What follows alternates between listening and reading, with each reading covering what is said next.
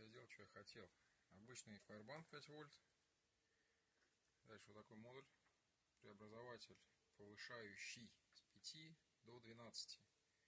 Но выставлено сейчас, грубо говоря, 11 вольт, потому что на 12 вольтах мощности не хватает, его. И вот такая вот 10 ваттная панелька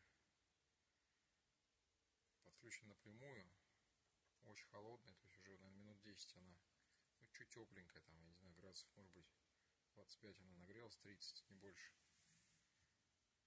Получается, что мы 12-вольтовую панель через вот такой крохотный преобразователь, который вообще практически не греется, подключили к обычному парабанку и из этого сделали очень-очень-очень мощный, очень мощный велофару.